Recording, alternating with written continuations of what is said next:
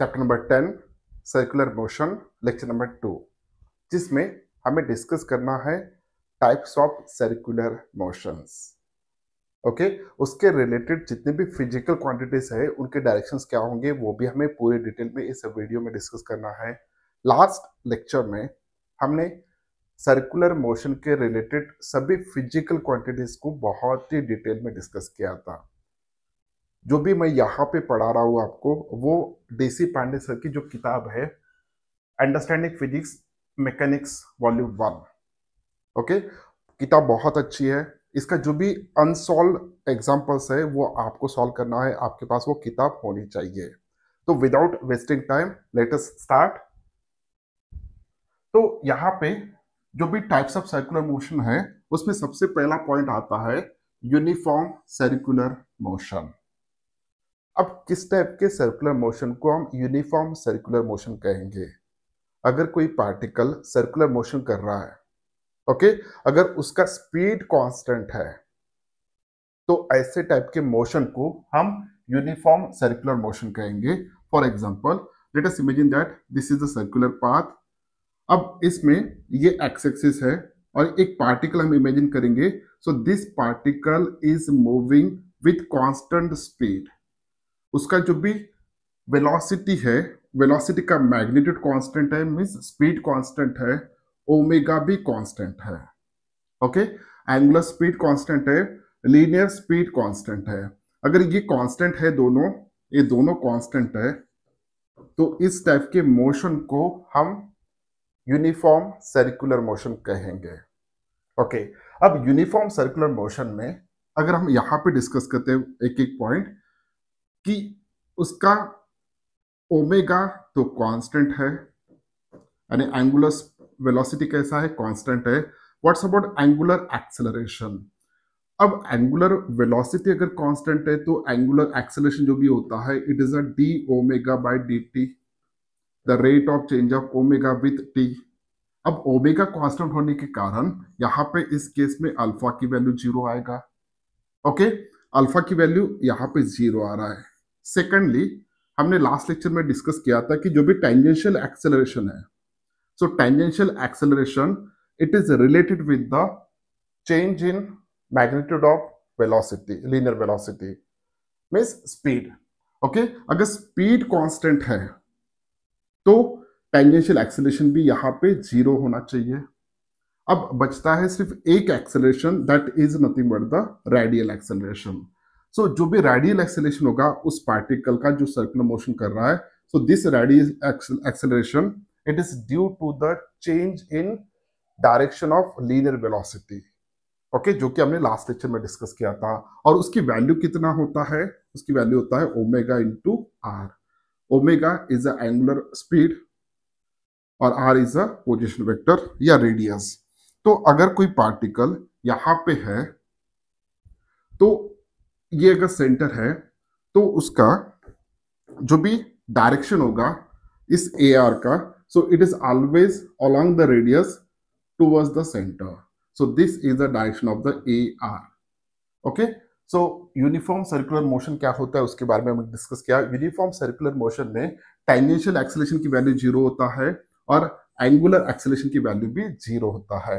लेकिन एक एक्सेलेशन होता है that is a radial acceleration जिसको हम सेंट्रीपिटल एक्सेलेशन भी कहते हैं जिस, जिसकी वैल्यू होगा ओमेगा स्क्वेयर आर और उसका डायरेक्शन कुछ इस तरीके का होगा।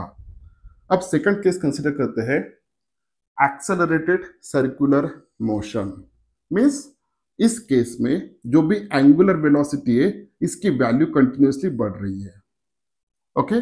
मान के चलिए कि एक सर्कुलर पाथ है this is the x axis अब कोई पार्टिकल है उस पार्टिकल का जो भी ओमेगा है that is angular velocity it continuously increases continuously वो इंक्रीज हो रहा है.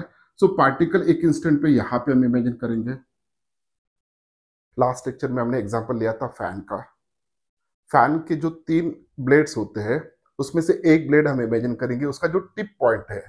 जैसे हम फ़ैन को स्टार्ट करेंगे तो उसका जो भी एंगुलर वेलोसिटी होगा, उस टिप पॉइंट का सो वो कंटिन्यूसली बढ़ते जाएगा। ओके ऐसे केस में ओमेगा बढ़ रहा है। अगर ओमेगा बढ़ता है तो लीनियर वेलोसिटी का जो भी मैग्नेट्यूड होगा, वो भी बढ़ेगा। अगर लीनियर वेलोसिटी का मैग्नेट्यूड बढ़ता है तो डेफिनेटली यहाँ पे टेंजेंशियल एक्सेलरेशन रहेगा। ओके तो टेंजेंशियल एक्सेलरेशन की वैल्यू जो भी है, जो भी डायरेक्शन है it is like this one अगर पार्टिकल यहाँ पे है सो so, वेलोसिटी का जो भी डायरेक्शन होगा अगर particle anti clockwise direction move कर रहा है तो जो भी वेलोसिटी का डायरेक्शन होगा वो वेलोसिटी का डायरेक्शन कुछ इस तरीके का होगा। ओके और उसी पॉइंट पे जो भी टेंजेंशियल एक्सेलेशन है so direction of this tangential acceleration is also like this one this is the direction of the tangential acceleration अब यहाँ पे ओमेगा क्या होगा? सो so, ओमेगा तो बढ़ रहा है तो अल्फ़ा क्या होना चाहिए? Alpha is equal to d omega by d t तो इस केस में ओमेगा की वैल्यू बढ़ने के कारण अल्फ़ा का जो भी डायरेक्शन रहेगा that is angular acceleration okay so it is just parallel to the omega अब पार्टिकल अगर एंटी क्लॉकवाइज डायरेक्शन में मूव कर रहा है तो ओमेगा का direction perpendicular to that plane outward रहेगा और अल्फ़ा का भी डायरेक्शन आउटवर्ड रहेगा. It is parallel to omega okay? Omega और अल्फ़ा दोनों के डायरेक्शन सेम होंगे। अब second third a r that is a radial acceleration अब ये रेडियल एक्सेलरेशन का डायरेक्शन क्या होगा? So radial acceleration is always is always sorry along the radius perpendicular sorry along the radius towards the centre so this is the direction of the a r so ये A T का direction होगा, ये A R का direction होगा तो net जो linear acceleration होगा okay net linear acceleration is a vector sum of a t plus a r जो कि हमने लास्ट लेक्चर में देखा था। अब ये नेट एक्सेलरेशन जो भी है, वो क्या होगा? इन दोनों का वेक्टर सम है। अब इन दोनों में एंगल कितना है?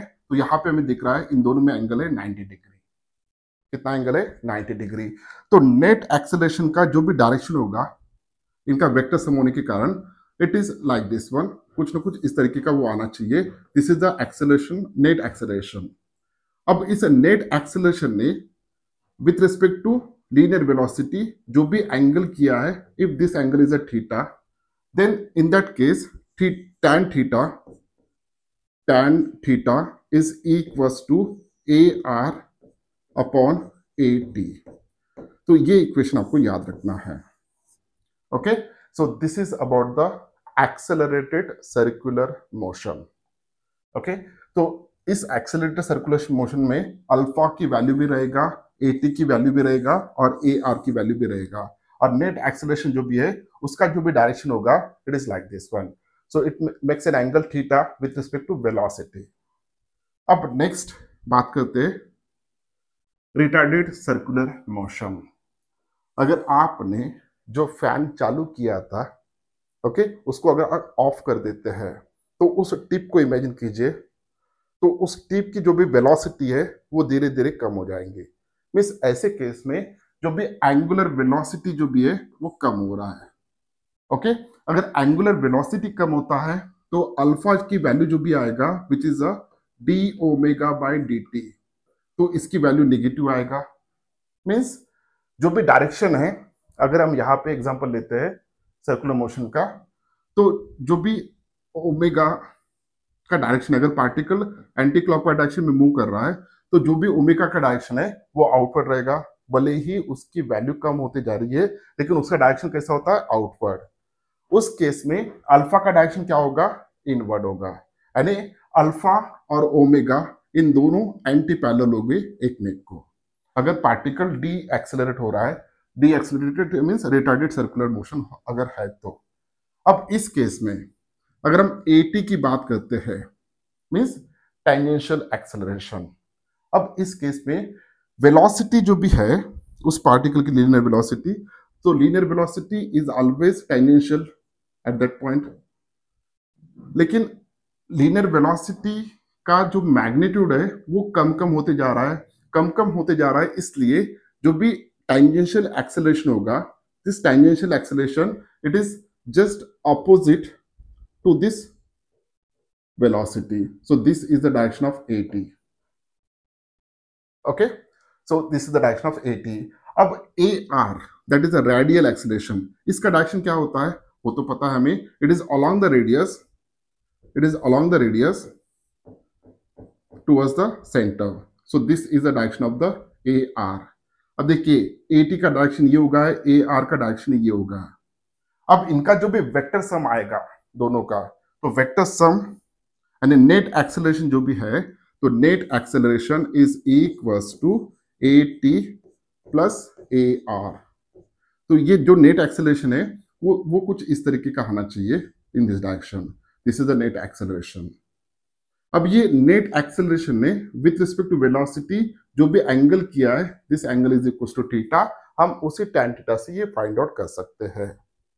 ओके सो इस केस में हमें एक चीज़ तस याद रखना है कि जैसे ही ओमेगा की वैल्यू कम होता है तो वेलोसिटी का मैग्नीट्यूड भी कम होगा वेलोसिटी का मैग्नीट्यूड कम होता है तो एटी का जो भी डायरेक्शन रहेगा it is just opposite to the direction of velocity means retardation okay so this is about the retarded circular motion अब यहाँ पे नेक्स्ट हमें जो टॉपिक डिस्कस करना है it's equation of motion for circular motion हमने equations of motion study किए थे। किसके लिए?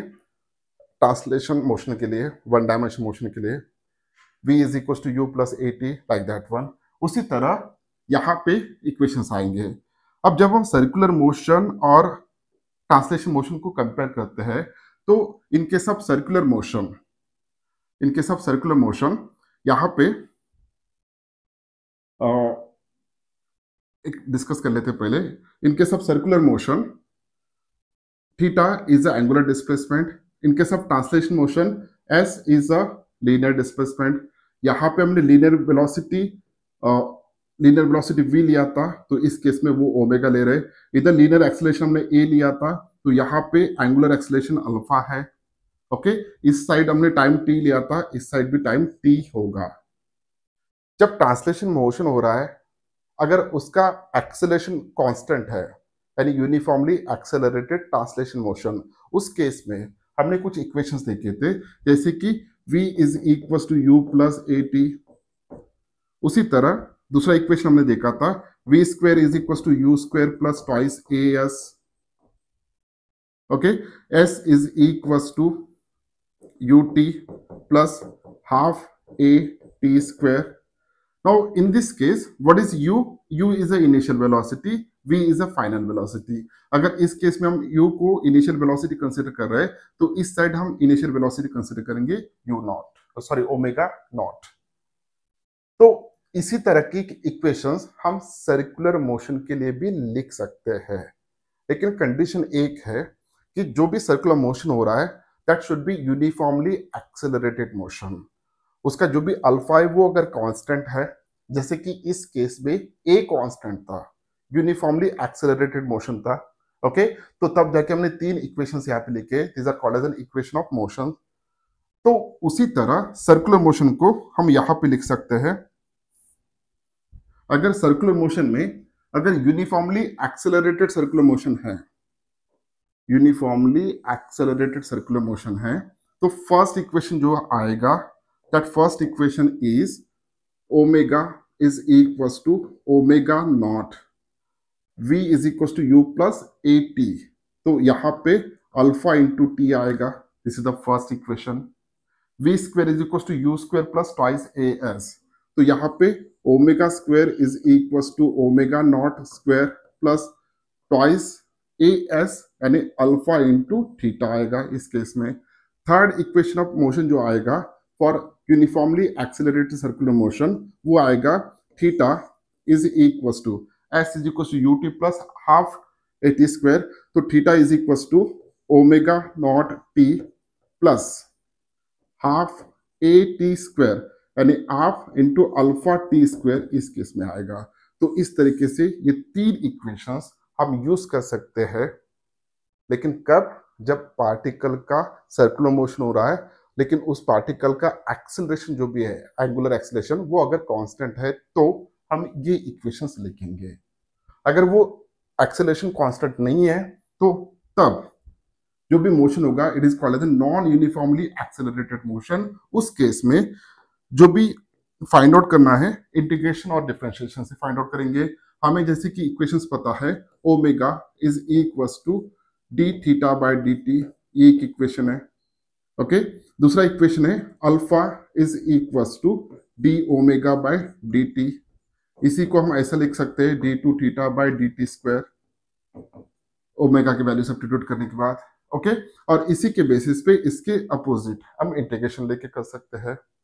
तो ये इक्वेशन हमें बार बार यूज़ करना है प्रॉब्लम्स को सॉल्व करने के लिए।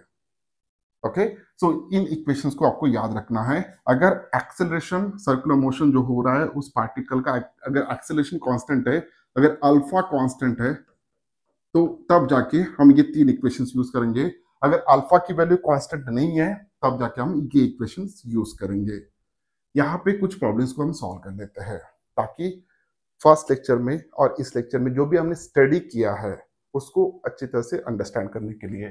तो देखिए a particle moves in a circle of radius 0.5 metre okay तो यहाँ पे क्या क्या दिया है, सबसे पहले लिख लेते हैं। सो रेडियस दिया है which is equal to 0.5 metre okay at a speed of that uniformly increases उसका स्पीड यूनिफॉर्मली इंक्रीज हो रहा है।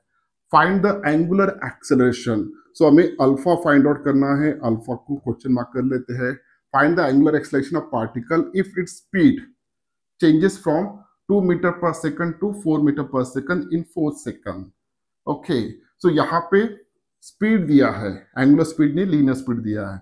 Okay two metre per second से लेके फोर मीटर पर सेकंड तक वो चेंज हो रहा है और इतने टाइम इंटरवल में। सो so, टाइम की वैल्यू यहाँ पे दिया है फोर सेकंड ओके तो हमें फाइंड आउट क्या करना है? एंगुलर एक्सेलरेशन सबसे पहले हम लीनियर एक्सेलरेशन फाइंड आउट कर लेते हैं। So linear acceleration is a d v by d t okay तो वेलोसिटी चेंज कितना हो रहा है? Four metre per second minus two metre per second final velocity minus initial velocity so four minus two upon time interval कितना है? Four second है। So this is equal to two by four which is equal to zero point five ये क्या हो गया बेटा? Acceleration है तो metre per second square okay ये एक्सेलेशन हमें मिल गया लीनियर एक्सेलेशन अब, जबकि लीनियर एक्सेलेशन हमें पता है, हमें रेडियस उस सर्कल का दिया है और हमें फाइंड आउट करना है अल्फ़ा तो इन तीनों में कुछ रिलेशन है, जो कि हमने स्टडी किया था लास्ट लेक्चर में. व्हाट इज़ दैट रिलेशन यहाँ पे a is equal to r into alpha so a is equal to r की वैल्यू कितना है? सॉरी हमें अल्फ़ा फाइंड आउट करना है। So alpha is equal to a upon r तो ए की वैल्यू कितना है? 0.5 और आर की वैल्यू कितना है? 0.5 so this is equal to one radian per second square so ये वैल्यू हमें मिल गया हमने अल्फ़ा फाइंड आउट कर लिया which is equal to one radian per second square okay तो ये था फ़र्स्ट प्रॉब्लम इसी तरह हम सेकंड प्रॉब्लम भी सॉल्व कर लेंगे. तो सेकंड प्रॉब्लम क्या है? देखिए. सेकंड प्रॉब्लम है the speed of a particle moving in a circle of radius two metre so radius दिया है two metre varies with time as v is equal to t square यानी उसकी velocity जो है टाइम के साथ साथ चेंज हो रहा है। तो यहाँ पे एक इक्वेशन दिया है v is equal to t square where t is in second and v in metre per second okay find the radial tangential and net acceleration तो यहाँ पे हमें क्या क्या फाइंड आउट करना है? हमें टेंजेंशियल एक्सेलरेशन फाइंड आउट करना है रेडियल एक्सेलरेशन फाइंड आउट करना है और नेट एक्सेलरेशन फाइंड आउट करना है। Okay okay? सो so, सबसे पहले टेंजेंशियल एक्सेलरेशन फाइंड आउट कर लेते हैं। सो टेंजेंशियल एक्सेलेशन के लिए फॉर्मूला पता है हमें. So tangential acceleration a t is equal to d v by d t लेकिन v की वैल्यू कितना है? टी स्क्वायर है. अगर यहाँ पे हम सब्सटीट्यूट कर देते d d t of t square तो यहाँ पे क्या आएगा? So a t is equal to इसका डेरिवेटिव कितना आएगा? टी स्क्वायर का derivative with respect to t two t आएगा. अब टाइम की वैल्यू दिया है दो सेकंड तो यहाँ पे हम टी की वैल्यू टू सेकंड सब्सटीट्यूट करेंगे। So a t is equal to two multiplied by two is equal to four metre per second square ये होगा एक वैल्यू ओके ए टी की वैल्यू हमने फाइंड आउट कर लिया।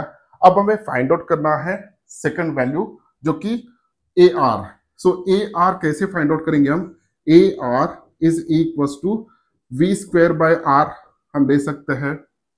अब वेलोसिटी की वैल्यू कितना है? जब टाइम की वैल्यू टू सेकंड होगा तो टी की वैल्यू टू सेकंड सब्सटीट्यूट कर लेंगे। तो velocity at time t is equal to two second is equal to two का स्क्वायर होगा four metre per second okay तो ये वैल्यू यहाँ पे सब्सटीट्यूट करेंगे।